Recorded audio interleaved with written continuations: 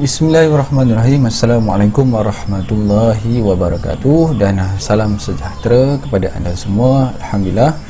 Jadi tuan-tuan dan sekalian Pada video kali ini okay, Saya nak tunjuk uh, Bagaimana cara-cara untuk kita uh, Set up link kita YouTube channel kita itu okay, Untuk terus ke bahagian ini uh, Subscription Jadi bila kita bagi link ini Sama ada kita letak di uh, di mana-mana pun.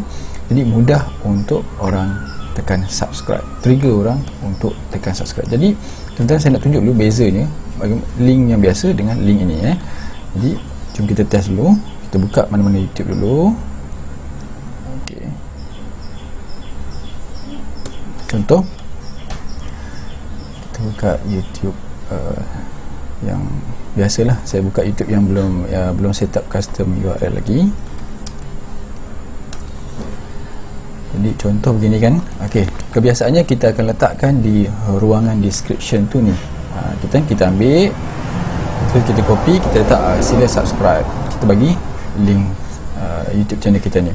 Jadi macam mana kita nak bila kita bagi link youtube channel kita itu ok dia keluar seperti ini. Jadi trigger orang untuk subscribe jadi tuan-tuan sekalian mudah saja bezanya adalah kita hanya perlu letakkan ini sahaja di belakang link YouTube channel kita. Jadi contoh, eh, saya letak ini ya.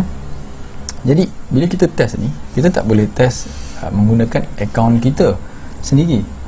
Eh, yang memang kita tak boleh subscribe ataupun kita guna akaun kita yang lain yang sudah subscribe channel kita. Kita kena guna akaun kita yang lain yang belum subscribe channel kita sendiri ataupun kita guna kawan-kawan kita pun ataupun ahli family yang lain ke kan?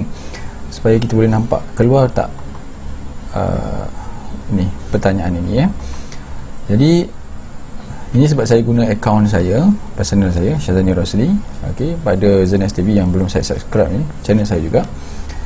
Okey bila saya klik selepas saya tahu additional link itu jadi apa yang keluar ah apa jadi kalau pertanyaan ni confirm channel subscription are you sure you want to subscribe to Zenas TV jadi anda boleh try letakkan ini saja okay, di belakang uh, link YouTube channel anda.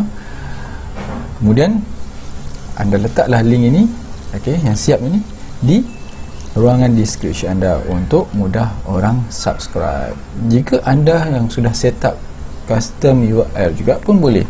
Hanya perlu letak di belakang saja tanpa perlu tambah apa-apa. Copy and paste.